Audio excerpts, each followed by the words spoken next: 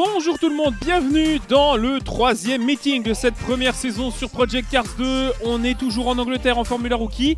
Et après une première manche où ça a été chaud, la deuxième où la pluie était venue s'inviter dans la partie, et bien place à la troisième épreuve du côté de Donington Park. Euh, ça s'est passé euh, agréablement avec euh, une belle fin de course. Et ici, eh bien, direction désormais le circuit de Snetterton dans, sa version 200, donc avec la, chicane qui nous attend dans le premier virage. Donc on va voir un peu ce que ça donne. Circuit très rapide pour ces petites voitures. On a des conditions nuageuses, donc à mon avis, il devrait y avoir quand même euh, quelques conditions euh, difficiles tout au long du, tout au long du week-end. Alors.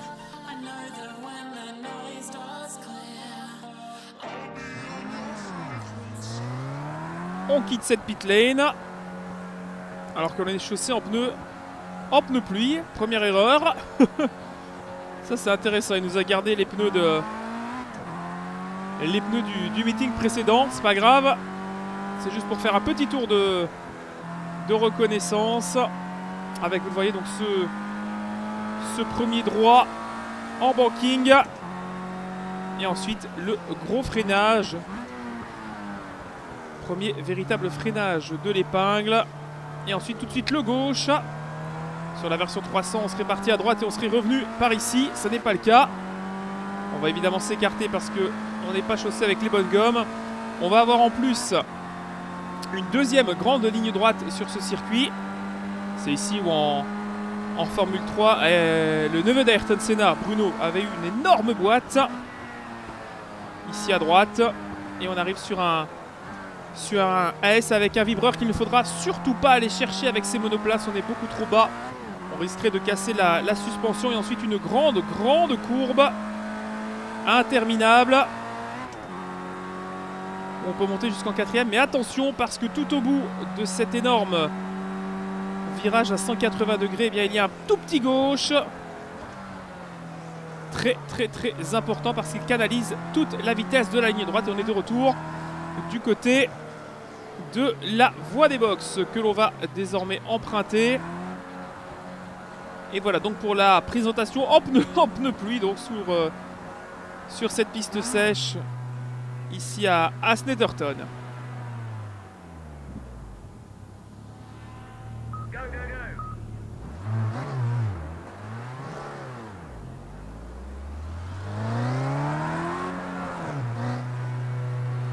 Sortie des box donc pour cette séance qualificative qui va se dérouler sous les nuages. Et on monte en piste cette fois-ci avec euh, des pneus slick.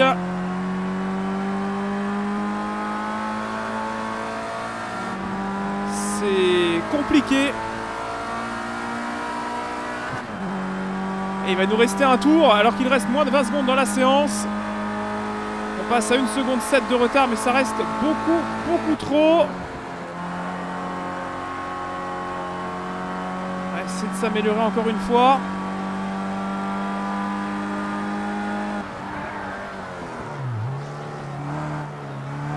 Fin des qualifications.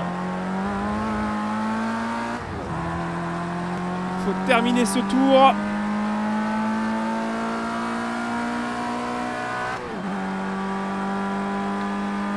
Pour l'instant, on est à 1 seconde 2, on reste dernier, mais on améliore.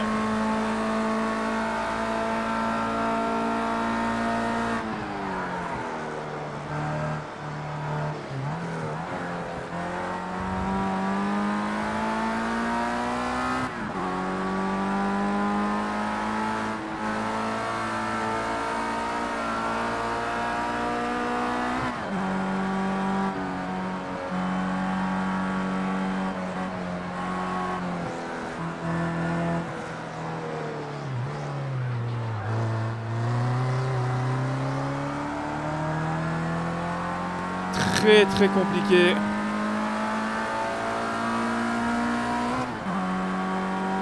de trouver une solution et on sera dernier.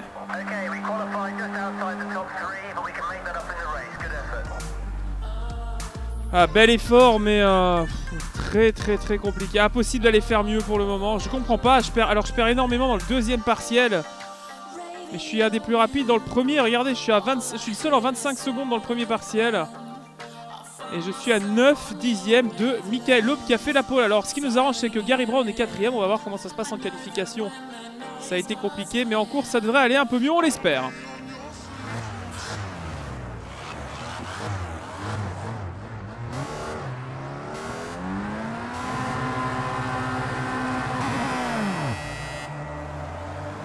Le départ de la troisième course de la saison ici à Asnetterton le soleil. Il vient d'aller chercher des points importants pour ce championnat que l'on ne veut pas céder à Gary Brown à l'extérieur. Ça touche. On peut gagner quelques positions. Premier véritable freinage de cette piste. On est juste derrière notre équipier. Et Moots. Moots qui joue sa carte. Hein. Mais on arrive à passer. Huitième position pour le moment. Mais c'est ce que j'ai du mal de comprendre. C'est la capacité de cette voiture à réagir en course. Tant mieux, mais ça nous rend la tâche simplement plus difficile. Hop.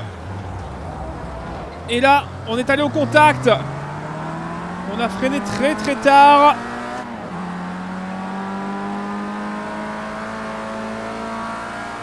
Gary Brown est cinquième. Pour le moment, ça n'est pas une catastrophe à, à proprement dit pour le, classement du championnat. Voiture délicate sur les freins, premier tour couvert. Avec les gommes à température, évidemment, ça va tout de suite beaucoup mieux. Et on attaque le deuxième chrono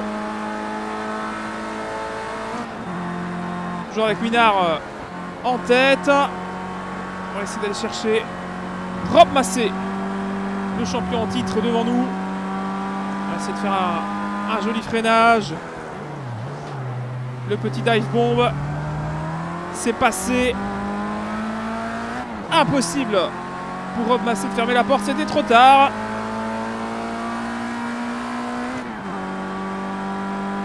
Et je rappelle que comme d'habitude, 8 tours dans cette euh, compétition. Et on est passé en 4 pour soulager. Ça glisse toujours autant. Et installé en 7 position. Nous sommes derrière Matt Webb, qui est le seul pilote à nous séparer de notre principal adversaire au championnat, Gary Brown. Là, on était très très généreux. Passage compliqué dans ce dernier virage, mais on a le grip, on a la confiance et on remonte. L'écart est d'une seconde deux avec, euh, avec Matt Webb qui reprend un peu plus dans les, les lignes droites car il a l'aspiration. Alors que là, ce que je peux vous dire, c'est que la voiture, regardez, est un petit peu de travers. L'axe de la direction est, légèrement plié sur la gauche. Pourquoi nous perturber légèrement. Mais rien de bien grave. En première, à l'épingle. Allez, on réattaque très très tôt. Sur Matt Webb. Alan Smith qui est quatrième maintenant. Allez à l'aspiration avec euh, notre boîte de vitesse un peu plus longue. On a de quoi peut-être aller déjà chercher Matt Webb avant le prochain freinage. On se porte à la hauteur de Webb. Freinage délicat pour nous. Et on passe. Léger sous régime ici en deuxième. On n'était pas du tout à la bonne position sur le circuit. Et devant nous se présente la monoplace numéro 11 de Gary Brown. Il faut absolument aller chercher si on veut espérer quelque chose au général. 7 dixièmes nous sépare maintenant. Nouveau tour couvert, le troisième par le leader Winard.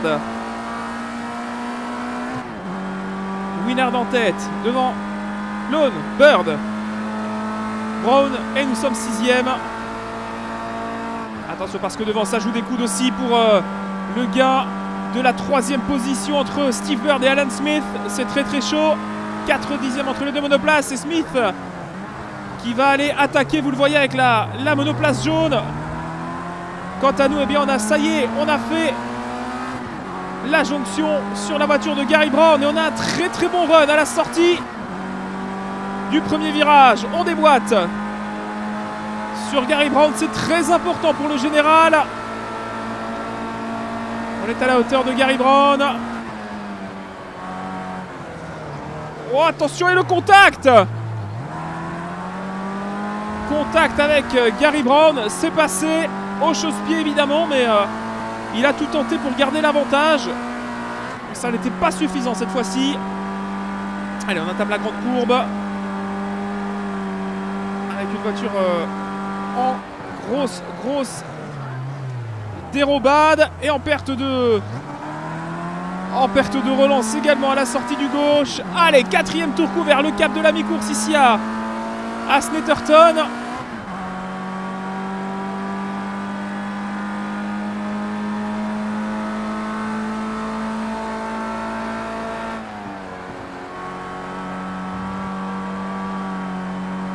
La grande courbe toujours en troisième.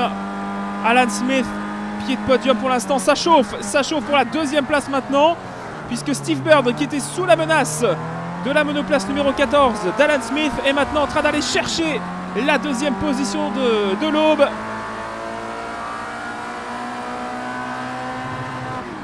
Un peu tard sur le, sur le coup de l'accélérateur. On peut aller peut-être chercher une bonne position.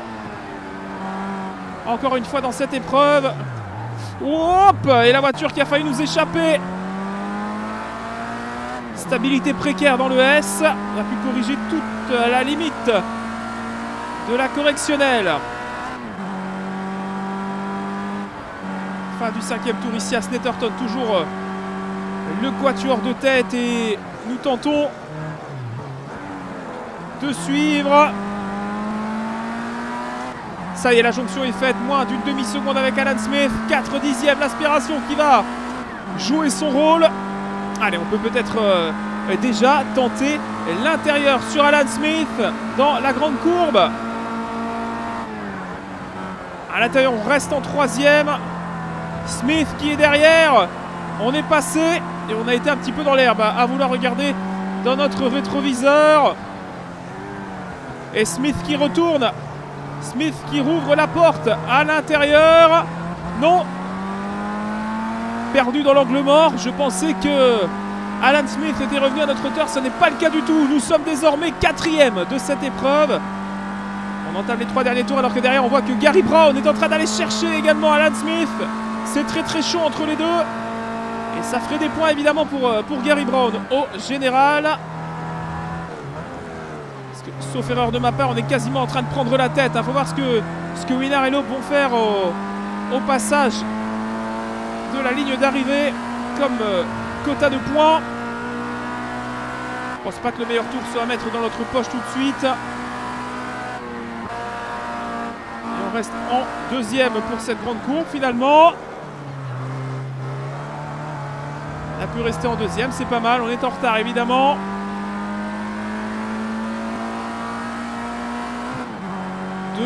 Deux, secondes. Le trio du podium est un petit peu plus loin. Deux secondes nous séparent de Steve Bird. La courbe, la voiture qui glisse évidemment énormément du train arrière dû à l'absence de ses ailerons arrière et avant. Le grip aéro est quasiment inexistant sur ces petites formules rookie. Allez Les deux dernières boucles de cette troisième manche ici à Snetterton, on est bien positionné hein, au classement devant Gary Brown et Winard qui pourrait faire également la bonne opération générale si euh, ça reste en l'état. Reste à voir comment vont se dérouler les deux derniers tours. et bien voilà. Surpris par la balance de la voiture. Ouais. Assez bizarre la, voiture qui glisse. Ouais, j'ai plus rien dans le train avant. Peut-être une surchauffe des pneumatiques. Attention. Parce que Alan Smith revient. Et là, je suis plus du tout en l'état d'aller chercher une éventuelle place sur le podium. Mais je dois plus défendre euh, ma peau dans cette dernière boucle. Ah, retournement de situation. La voiture qui a changé euh, du tout au tout son comportement sur la piste. Comme je disais, peut-être une surchauffe de la gomme. Ouais, 4 secondes de perdu sur ce coup-là. Regardez mes mains sur euh, le volant, toujours légèrement tiré à gauche. Là, effectivement, pour, euh, pour Winard, Loeb et, Bird, la messe est dite.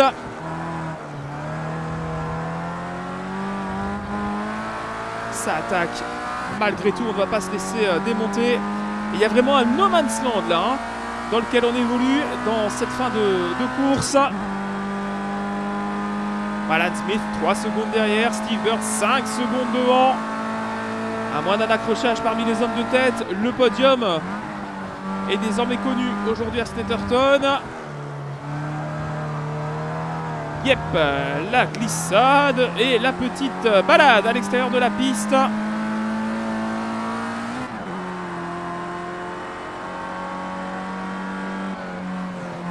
je pense qu'on est effectivement un petit peu trop chaud.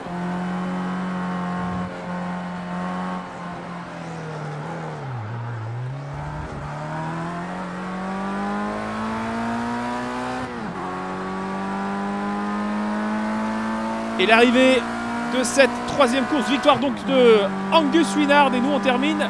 C'est une belle quatrième place qui nous attend à l'issue de cette course. Voilà donc au pied du podium, et si on fait le calcul, eh bien, c'est donc Michael Loeb, deuxième, derrière euh, Angus Winard.